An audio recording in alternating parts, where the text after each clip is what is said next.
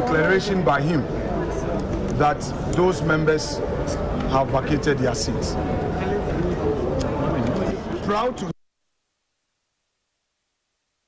I had brought to his attention that there was a pending suit at the Supreme Court, which pending suit was to seek certain interpretation of Article 97.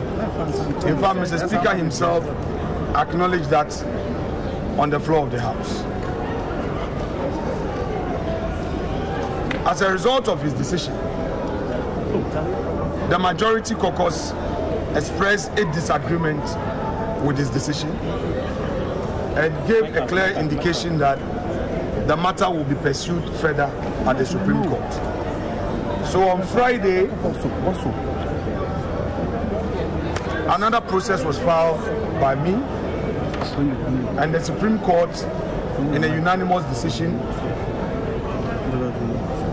determined the matter and ruled, among others, that one, Speaker's interpretation of the law was wrongful and that the Supreme Court was staying his decision pending the final determination of the case. In other words, his earlier decision to the effect that those four MPs, that is MP for Fomena, MP for Agona, Agona West, MP for Suhum, and Amenfi Central had vacated their seat was nullified, in essence. We are law abiding. We have heard that our colleagues say they disagree with the Supreme Court. They've been using unprintable words on the Supreme Court. On Sunday, the minority leader, my respected colleague, Dr. Forson, led the minority caucus in a press conference whereupon they told Ghanaians that today they will come and occupy our seats by their own proclamation. NPP, our tradition is a law-abiding tradition. Our forebears always use the courts to correct the wrong. Since 1992, our leaders have always used civil advocacy and the courts to ensure that we get the peace that we have today. On top of my head, I can recall the era where we used thumb print ID cards and we use opaque ballot boxes. All these are things of the past today because of NPP. Today we have a very transparent electoral system because of the advocacy of our forebears. It's out there in leadership. The country is hereby informed that we will not give that lawless platform that NDC is seeking. We will not give them that platform. We will not give them that theater they so aggressively seek. This disrupt democracy and to destroy our nation. We know there are innocent people out there, innocent Ghanaians going about their business, innocent Ghanaians in the academia, innocent Ghanaians who are struggling to get three square meals on the table for their families. We care about them. We understand that there is politics, but we must do it in a civil manner. We believe that the appropriate thing is to quietly yield to them and wait upon Mr. Speaker.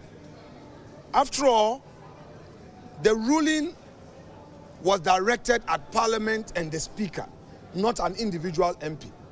Yesterday, the bailiff of the Supreme Court served Parliament of Ghana through the legal directorate, the director of the legal department, received the ruling of the court. So, in other words, Mr. Speaker is on constructive notice, or maybe I should say actual notice of the ruling of the court. We have to leave it there and respect Mr. Speaker. Mr. Speaker has been part of our democracy since 1992. He's a senior lawyer, he's practice in our court, and I believe that even if Mr. Speaker disagrees with the Supreme Court, he knows what to do. Suffice to state, at the risk of being repetitive, that we were not disrespectful of the chair. When the Speaker made his pronouncement and the majority caucus disagreed with Mr. Speaker, we didn't cause commotion here. We left quietly and told Mr. Speaker that the right place to express those grievances will be at the court. So we expect our brothers and our sisters on the NDC minority side to do the needful. But all would be for Mr. Speaker to make a final determination. The nation is looking up to Mr. Speaker. All his years in politics, this is a crucial moment for him to add weight to what we have done to preserve the peace. NPP is for peace. NPP is for peace. NPP is for peace of Ghana. We will not allow anybody to disturb the peace of the country. It is a notorious fact that we remain the majority caucus of this parliament. You, the media, must add your voice to the advocacy to compel our colleagues to respect the fidelity of the law. I have heard a respected colleague on their side, Honorable Dr. Ayine, calling on Mr. Speaker to respect the Supreme Court decision. If that is true, then that's a noble call from him. Dr. Ayine is somebody I respect because of his respect for the law. I believe that moderates on the side of NDC will prevail on the hawks in their party to call them to order. So I would want to thank you for being with us. We are leaving this chamber peacefully into our offices. I wait Mr. Speaker's arrival, and if he calls leadership and we do pre-sitting discussions, we'll take it up from there. But for now, that lawless theater will not share with them because Ghana, Ghana, our country, Ghana, is bigger than any one individual. So we would want to, at this point, sing our party's anthem to let you know who we are. Colleagues, we are the new, we are the new patriotic party. We are the new, we are the new patriotic party. The elephant is a winning symbol. We have war to save Ghana. The elephant is a winning symbol. We shall war. So you had the NPP MPs who've just left the chamber of the House. They say that they are not going to give in to the NDC. There's not going to be any violent confrontations in the simple. They are chanting their party anthem as they walk out of the chamber to, to, to other place. You hear the NDC MPs jeering them. They are jeering them. They are asking. They are jeering them. And so that is said to be the showdown here. They say that they're not going to give in to the NDC. And then, as far as they are concerned, what they're going to ensure is that the proceedings will not be disrupted. You hear NDC MPs clapping away, away, away, away as NPP MPs walk out. NDC MPs have also started to chant a few of their revolutionary songs, and that is the situation as we have in Parliament. The majority leader, Alexander Afenyo-Markin, just finished addressing the the, the, the, the, press here in Parliament, insisting that they consider themselves the majority and will not concede that to the NDC. But for now, they are not going to give in to the NDC. For now, they are going to their offices up until the Speaker of Parliament takes his seat. And when he does take his seat and offers directions on what should happen next, then they will return to the House. So that is how far the situation is. This is Joy News Desk here on the Joy News channel. The NDC have now been left to be the ones who have taken their seats on the on, on the majority side in Parliament, and they say that everything points that they are the real majority. And now they are singing the national anthem, insisting that they are the majority in the House. Uh, uh, chaotic scenes that was expected hasn't happened. It hasn't happened at all. Just the NDC MPs having taken over the majority seats. And they say they are going to take that seat. There's absolutely no way they are going to hand that over back to the NPP.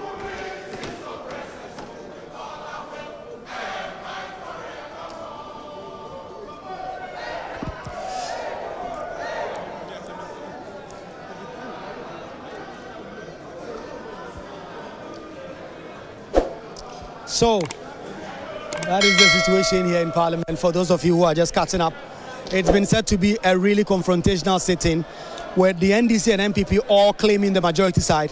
About 8 o'clock a.m. today, the doors to the Chamber of Parliament was opened and the NDC and NPP MPs all walked in.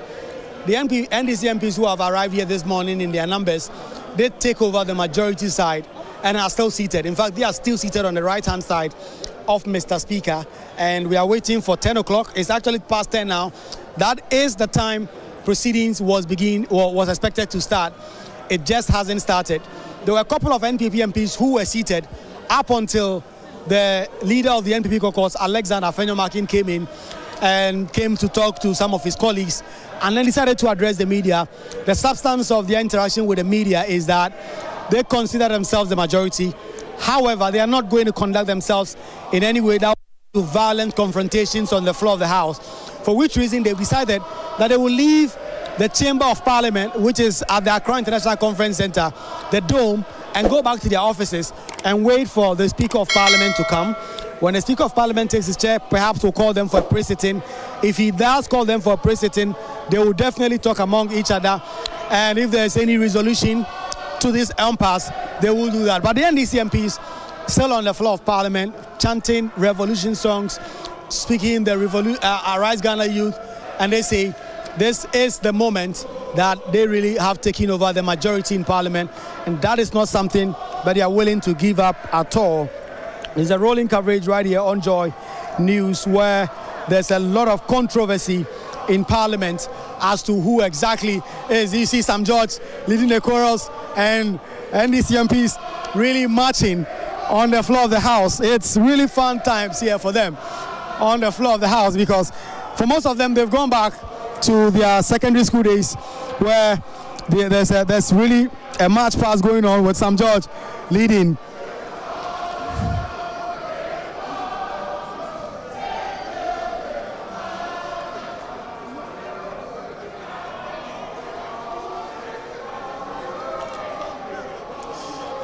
There's a lot happening, a lot, a lot happening on the floor of Parliament today. A day that has been said to be the country at the precipice of chaos. Ghana's democratic credentials being challenged. But so far it has been handled pretty well. The NPP MPs have come in and they've said that that's why they are disagreement. They are not going to stay on the floor. They've left to their offices. But the NDC MPs remaining. You see a candle there. You see MP for Madina Francis Xavier Sosu. You see a number of them really remembering their JHS and SHS days where they are march past. They are not relenting. There's, there's a lot of singing and chanting on the floor of the House as they wait for the Speaker of Parliament, Alban Bagbin, to come in to gavel the House in session.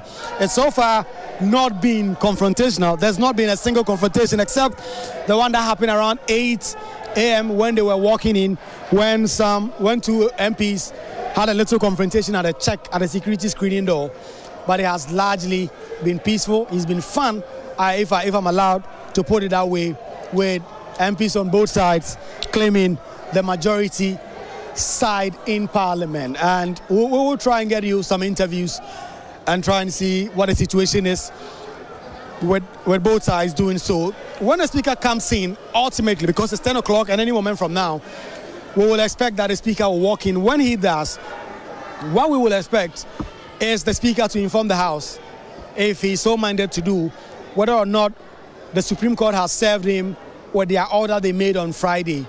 The majority leader, you heard him there say that that order has been served on Parliament. And so the expectation will be that at least the Speaker of Parliament will comment on it. And whatever consequential directives he may, he may, he may be mandate to give. Mind you, there are efforts underway between yesterday and now to file some applications also at the Supreme Court to stay that order that has been made by the Supreme Court. So a lot of stay, stay of execution applications flying all over the place. But as of yet, that has not been filed. And what that means, constitutionally and legally speaking, is that that order declaring four seats vacant by the Speaker has been stayed by the Supreme Court, which means the status quo prior to Thursday has been restored and that the NPP are the minority, strictly speaking, by the Supreme Court declaration that they made last week. But the NDC MP say until the Speaker of Parliament communicates to them, that is not something that they are willing to they are, they are not willing to go by because they do not take orders from the Supreme Court from social media. They only do so if the Speaker of Parliament communicates to them.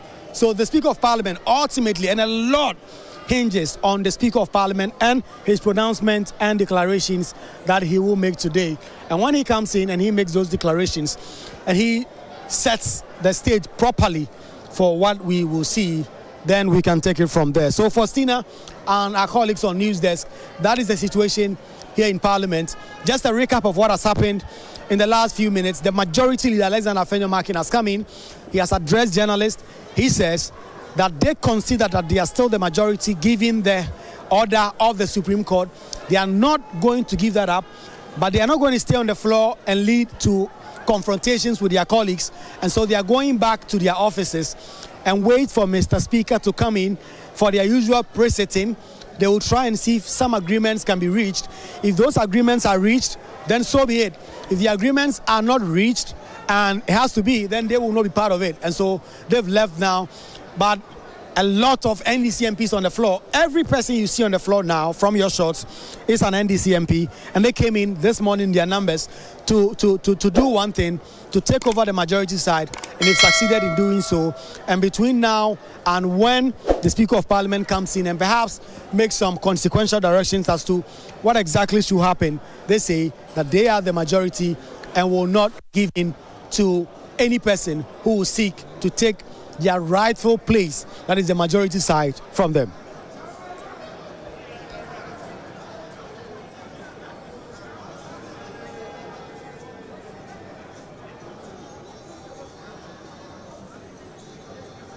So this is what's happening in Parliament currently, where the NPP has actually walked out.